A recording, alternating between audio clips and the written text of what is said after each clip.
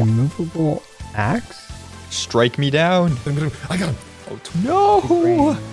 Hello and welcome to my channel, IWinToLose Gaming.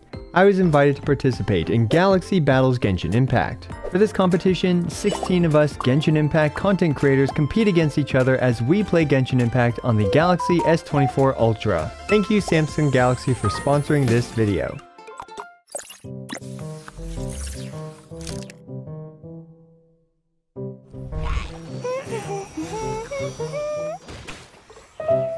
We're divided into four teams of four, where we compete in two rounds. The first round is a creator versus creator clash to earn a power up for the second round. In the second round is the grand finals on April 21st at 12 p.m. Pacific time, where the winner takes home $40,000 worth of prizes. In this creator versus creator clash, you'll see how it all came down to a literal tree stump. For my creator versus creator clash, it was me versus Antony Chen, Doro44, and Jello Impact. The field is full of us Genshin Impact veterans, and each of us needs to complete various in-game challenges, some with a quantity restriction, where only a certain number of us can claim that reward, and each one of these challenges is worth a certain number of points. This contest was made possible thanks to the Samsung Galaxy S24 Ultra and its top of the line specs being able to run Genshin Impact smooth as silk. We're playing on this thing seamlessly at max graphics for this contest and it's not missing a beat. Also the camera on this thing is one of the best in the market thanks to its 10x optical zoom where you can literally see these individual blades of grass that I touched. And the note assist with Galaxy AI is a powerful time saver, able to instantly summarize your notes, reformat them, and even translate them all with the power of AI. Right off the bat, it was a rough start for yours truly. The first person to kill a world boss would get one point. And I, in my infinite wisdom, decided to switch teams for some reason. Get a world boss. Alright, we got this.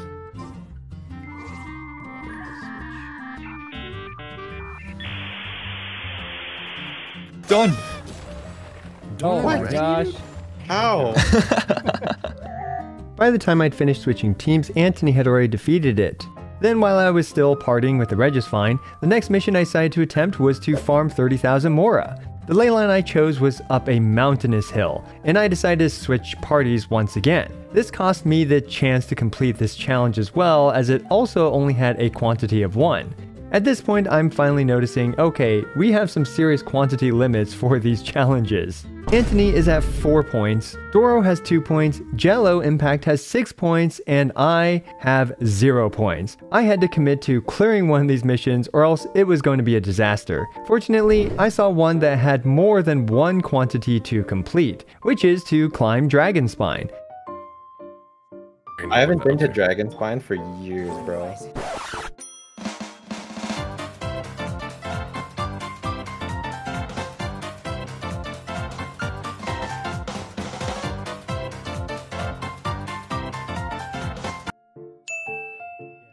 After a long, arduous climb to the top of the mountain, I finally put myself on the board with three entire points. Still, things weren't looking good for me and I decided to start on the flower farming. At this point, I was still grappling the UI, and while we get to see the full descriptions, it doesn't appear on the screen for the viewers. For flower farming, we're supposed to grab a region exclusive flower from each region. With only two minutes to do this, I have no idea why I started this challenge. But, well, I grabbed a dandelion flower, which is a regional flower from Mondstadt. And I realized there's no way I can finish this one in time, so off to farming 10 slime concentrates. 10 slime concentrates? Hey, they forgot that I already needed to do this to farm my characters. oh, thanks for reminding me about that one. Dude, every single, like, I had to get it on Lehigher and Gaming needed it. Like, all my slime is gone. 10. Okay.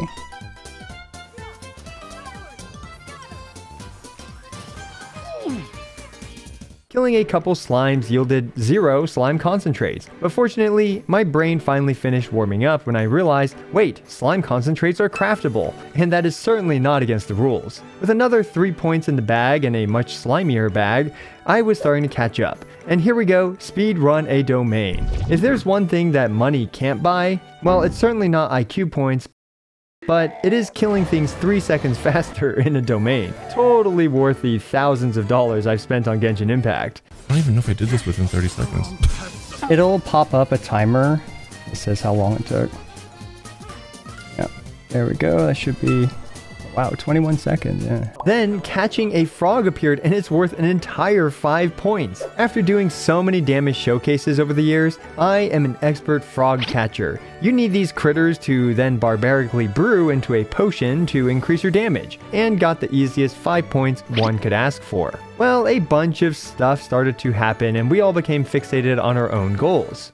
I gotta take off this Refinement 5 Thundering Pulse to do less than 100 damage. That's a good point. Oh wait, it has to be hundred damage Or less. Over right Yeah, or less. or less. Oh, how do I take my points away from Oh, that? oh, I got, I got. There's an undo button. Oh yeah, let me undo that. Then. 16 damage. Let's go. All right. My Amber did 50 with her normal attack. Oh, dang. That's way better than mine. The camera, man. Camera's amazing. You know, I took it out, took some pictures of grass. It was incredible. Just to prove he touched 23. I went underwater to murder our friendly underwater sea critters, and Antony decided he wanted to be struck by lightning. oh my god, I see lightning. Strike me down. And Doro had an Omega Brain moment by remembering that Yoimiya has homing rockets to shoot down flying pigeons out of midair. I got 10 berries. Please. Get him, get him. I got him. Oh, 20 seconds left. Yes. Let's go. And I gotta collect these materials. Fowl. Yeah, I got 10 of these. Come on, lightning. Where you at? I think I got it. I got it. Okay, nice. It's like auto aim. No! Meanwhile, Jello and I decided to ice bridge across Cider Lake. Yep, for some reason we decided to do the thing that would require the least amount of brain power but would take the longest for a guaranteed result. How long did it take? Well,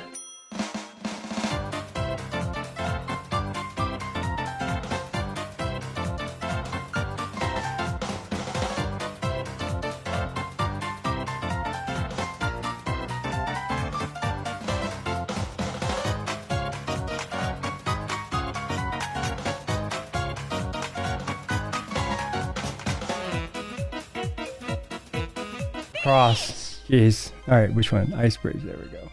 Yeah, but if you dash and fall off the ice bridge, oh, man, That would that's, suck. that that's not worth it, man. Meanwhile, plenty of other more sensible challenges had appeared in that time. Well, at least it's another 4 guaranteed points in the pocket. All this, frankly, was child's play compared to the tumultuous trials that lay ahead. Like, show off your favorite character by taking an in game picture, and I guess my favorite character now is Furina, and rest above the clouds. I'm unfortunately a bit traumatized by this one. I went up here, and unfortunately, that didn't count. About 10 seconds after it expired, it became obvious to me that given the description was to sit at the place above the clouds in Liyue, it was the Cloud Retainer's abode, where you can actually sit. My brain seriously malfunctioned here because I'm pretty sure I could have also sat at the previous place I was at, and that was the easiest four points that I left behind. And this is where the difficult riddles began. Lumberjack's Folly. Find the immovable axe buried in the stump in the North Guili Plains. I was almost stumped after bouncing around the plains, and then Immovable axe? Oh, oh, I found it. I found it. Holy cow. it appeared. Wow, boy did I get lucky here. After stumping around for some stumps, I found this axe which was stumped in the stump for another massive 5 points in the bag. Then the flower challenge also reappeared. It looks like my earlier dandelion farming actually helped me a bit here. This let me actually finish my wonderful collection of flowers. At this point, the challenges were running dry, with only a couple of riddles left, where I really miss Paimon yapping in my ear explaining everything and telling me exactly where to go. But Antony pulled one final big brain moment and figured out the race to the answer riddle, which was voiceless it cries, wingless flutters, toothless bites, mouthless mutters. X1000. Yes! Well, I oh, still, you I it? literally What? cannot have enough points to win this, but Seriously, where's Paimon when you need her? Well, Antony didn't need her because it was the Thousand Winds Temple. We gotta give it up for Antony for that one. So, what ended up being the final score? Doro came in fourth with 25 points, Antony was in third with 41 points, and second place was. Jello Impact with 43 points, and thanks to a certain hopping frog and an axe and a stump, yours truly finished with 45 points. This competition was down to the wire and was a blast to participate in. I felt like Reggie Regigigas with a very slow start, but speeding up once I got into the groove. And now I will appreciate every stump and axe that I come across in Genshin Impact. Be sure to check out Doro, Antony, and Jello Impact, as they are all awesome dudes and I had a blast participating with them in this creator vs creator clash. Don't forget to tune in on April 21st at 12 p.m. Pacific time for the finals. And huge thanks to the Samsung Galaxy for sponsoring today's video. As always, I appreciate every single one of you. This is IWinToLose, signing out.